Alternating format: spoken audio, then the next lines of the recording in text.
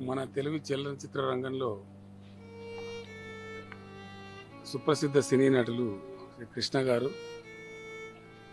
ఈరోజు మన మధ్య లేకుండా పోవటం అనేది చాలా బాధాకరమైన విషయం.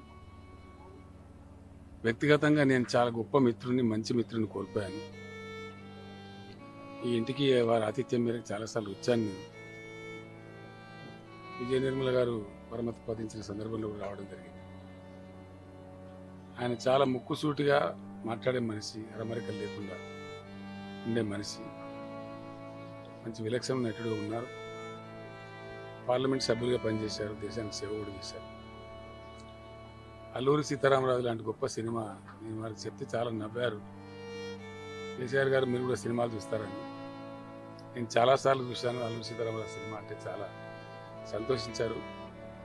అటువంటి మంచి దేశభక్తిని ఉద్బోధించేటువంటి స్వతంత్ర పోరాటాన్ని స్ఫురింపజేసేటువంటి గొప్ప సందేశాత్మక చిత్రం నిర్మించారు కాబట్టి వారికి తెలంగాణ ప్రభుత్వం వారి సీనియారిటీని వారికి చేసినటువంటి ఆ దేశభక్తి గురించిన ప్రయత్నాన్ని గుర్తిస్తూ అధికారికంగా ప్రభుత్వ లాంఛనాలతో వారి అంత్యక్రియలు నిర్వహించాలని చెప్పి ప్రభుత్వం ఆదేశాలు జారీ చేసింది.